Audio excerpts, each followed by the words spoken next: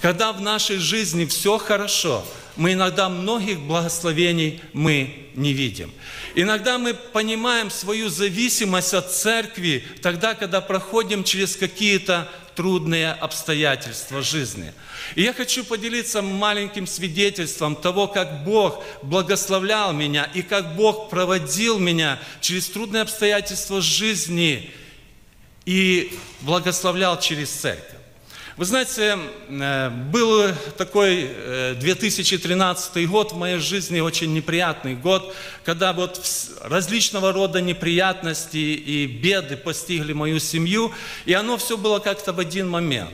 Знаете, в течение вот двух-трех месяцев вот все вот это свалилось. И я был не готов к этому. Но э, самая большая беда была, э, случилась это то, когда э, мой внук, когда ему было два месяца, и ему поставили диагноз э, двухсторонняя катаракта, врожденная двухсторонняя катаракта глаз. И этот диагноз, он обозначал одно, что мой внук в два месяца он ничего не видел, ни одним глазом. И нам сказали, что мы должны срочно сделать операцию в течение там, ближайших месяцев для того, чтобы спасти глазной нерв и чтобы был шанс на то, чтобы он мог что-то видеть. И когда я услышал этот диагноз, когда я пришел домой, я э, посмотрел в интернете, почитал, что говорят специалисты, почитал истории других людей, которые сталкивались с такой проблемой. И я пришел в абсолютное уныние. Почему? Потому что то, что я прочитал, оно не утешало. И я не мог смириться с тем, что мой внук, он никогда не увидит солнце, он никогда не увидит своих родителей. И я понимал, что теперь все зависит только от милости Божьей. И я понимал, что нужно молиться. Но молиться, знаете, нужна молитвенная поддержка. Иногда одному в таких ситуациях молиться очень трудно. И кому мы обращаемся, когда мы ищем молитвенную поддержку? Мы идем в церковь. Э, на всех служениях есть особое время служения, когда здесь зачитываются нужды людей и совершается молитва. И когда у нас все хорошо, мы, может, не обращаем внимания на это, на это служение, на это время. Иногда вот уже бывают и места пустые к этому моменту. Но те, которые хотя бы раз писали эти нужды, писали эти записки, вы можете вспомнить и согласиться со мной, как вы ожидаете этот момент, когда церковь будет молиться о нашей нужде. И в этот момент это бывает иногда последняя надежда. И я начал обращаться к церкви за молитвенной поддержкой. Вы знаете, я был очень удивлен тем, как церковь поддерживала. Я мог бы рассказать много ситуаций, которые были связаны с этой молитвенной поддержкой, но я расскажу одну только ситуацию. И когда внуку назначили операцию, это было назначено на четверг, на 9 часов утра, и после служения один брат, пожилой брат, вот так он сидел в рядах, он встал и говорит, братья и сестры, вот будут ребенку делать операцию. И давайте в четверг придем к этому времени, кто не работает, кто на пенсии, у кого есть желание, и будем молиться в это время. И он так встал, объявил, я его об этом не просил, сел, ну, кто услышал, услышал. И вот наступил четверг, и мы с моей женой, мы едем Э, в молитвенный дом, потому что буду там молиться. И в это утро был очень сильный дождь. И не просто дождь, очень сильный ветер, такой, что, знаете, под, под зонтиком не укроешься от дождя. И мы едем в машине, и я говорю жене, знаешь, давай настраиваться на то, что приедем в молитвенный дом и будем на молитве, ты, я, и приедет служитель с женой, потому что они на машине, а вряд ли кто придет. В Украине э, ну, мало кто ездит на машине, особенно пожилые, они ходят пешком. Кто придет в такой дождь?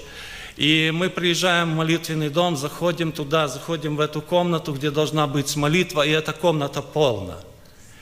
И вы знаете, Бог мне показывает вот эта церковь. И я помню эту молитву, насколько она была горячая, сколько шла операция, все мы молились, пели, читали, молились. И потом позвонила дочка, и говорит, операция прошла хорошо. И я верю, что это была услышана молитва церкви. И вы знаете, э, Внук сейчас видит, видит частично в очках, еще нужно лечение, еще будет э, впереди много нужно пройти, но он видит.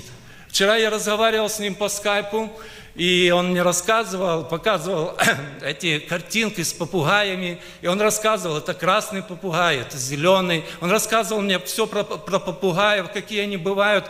И я благодарил Бога, потому что он видит этот мир, он радуется этому миру.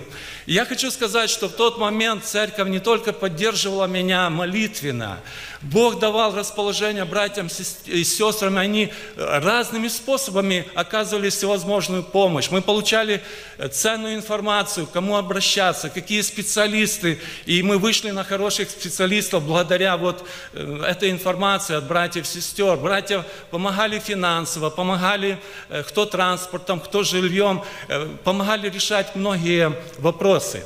Я помню, что тогда некоторые братья со мной много беседовали, и я нуждался в, этой бесед... в этих беседах, и я понимаю, что им тогда было очень тяжело со мной беседовать, потому что внутри все было непросто. И, я помню, насколько они были милосердны ко мне, насколько они беседовали это все по благодати. И э, один брат, он э, служитель, подошел мне после служения и говорит, у меня есть такое побуждение к тебе – Говорит, я через несколько месяцев я еду на конференцию в Англию. И вот я имею возможность взять кого-то с собой. И мне пришло такое побуждение, чтобы взять тебя э, с собой на эту конференцию. Вы знаете, я смотрю на него, я понимаю, что это будет конференция, куда приедут лидеры, куда, куда приедут сильные мужи, а я на тот момент, я вообще ничего, ничего внутри не чувствовал, никакой ни силы, ни дерзновения. И я ему просто так говорю, а ты будешь комфортно себя чувствовать со мной там на этой конференции? И он говорит, я не знаю, мы так откровенно с ним говорили. Но он говорит, давай решим так, если это побуждение было от Бога, то у тебя нету ни паспорта, загранпаспорта, у тебя нету визы, у тебя нету приглашения, у тебя еще много чего нету. Если это от Бога, Он все устроит. Если нет, то примем это как от Бога. И вы знаете, Бог устроил. Я был там в Англии, первый раз в Европе. Эм, другая страна, другая культура, я не знаю язык. Я выглядел там перепуганно и очень странно. Но мы жили э, в семье верующих англичан. Мы жили одну неделю. И эту неделю я видел, как они нам служили. Они просто отдавали самих себя нам на служение. Они таким образом служили Богу. И Бог мне показывал, это тоже церковь. Это моя церковь, это верующие в другой стране, другой культуры, но вы все вместе, вы в моей церкви. И я видел служение этих людей. Э, эти люди служили для меня.